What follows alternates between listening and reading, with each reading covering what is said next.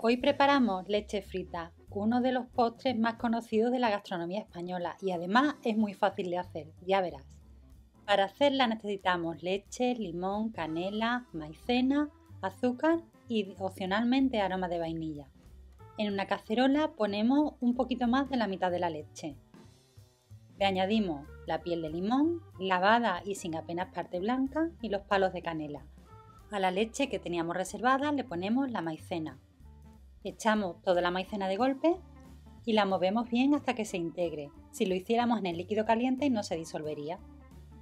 Cuando ya vemos que empieza a burbujear, a salirle pequeñas burbujitas, apagamos la leche y la dejamos infusionar para que se tomen los sabores del limón y la canela.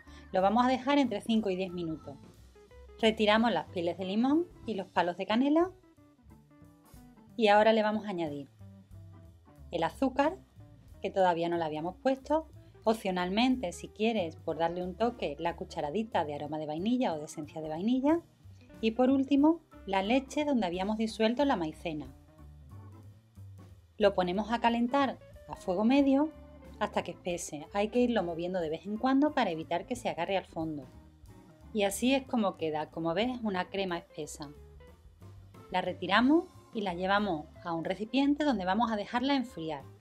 Hay que dejarlo enfriar totalmente. Bastaría con dos o tres horas, pero yo prefiero dejarlo de un día para otro.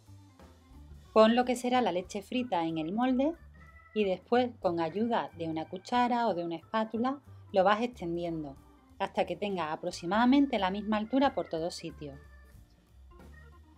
Para evitar que forme costra, en la parte de arriba al enfriarse, porque la costra resulta muy molesta luego para comer, le ponemos un film.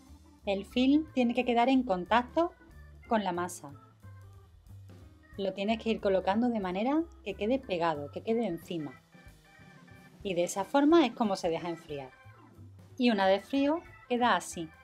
Retiramos el film transparente y ahora lo que hay que hacer es ir cortando los trozos de leche frita. El tamaño es aproximadamente a ojo, los puedes cortar cuadrados o rectangulares. Lo que te aconsejo es que no sean demasiado grandes porque está tierna y se te pueden romper. Para el siguiente paso, bien los puedes sacar directamente desde el recipiente donde lo has dejado cuajar o los puedes llevar a un plato. Yo prefiero llevarlos a un plato y tener ya los trozos preparados. Por otro lado vamos a poner harina de trigo normal y los huevos batidos. Iremos cogiendo cada porción y la pasamos primero por harina por todos los sitios, por todas las caras y después la vamos a pasar por el huevo batido. Se le da la vuelta, se impregna bien por todos sitios y se lleva a aceite o bien de girasol o bien de oliva suave que ya estará caliente. Suelo ponerlo a una temperatura media porque así controlo mejor el dorado y evito que se me queme. Cuando estén hechos por una cara se le da la vuelta y cuando estén de un bonito color dorado se saca un plato con papel absorbente y ya tendremos preparada la leche frita. Ahora nos queda el último paso, que es el rebozado. Para hacerlo vamos a poner un poquito de azúcar y opcionalmente se le puede poner canela. La cantidad es al gusto, por eso no he puesto cantidades. Lo mezclamos bien y vamos a pasar cada uno de los trozos mientras aún estén templados por esta mezcla. Así conseguiremos que se quede pegada ese azúcar a toda la superficie de la leche frita. Si ves que queda algún saliente de haberlo frito demasiado grande, se lo puedes cortar. Y ya solamente queda repetir este paso hasta terminar todas las porciones. Voy a partir una para que veas cómo queda por dentro. Está muy tierna, la voy a partir con cuidado. Y mira el interior, ha quedado perfecta. Mira qué blandito y qué jugosito está.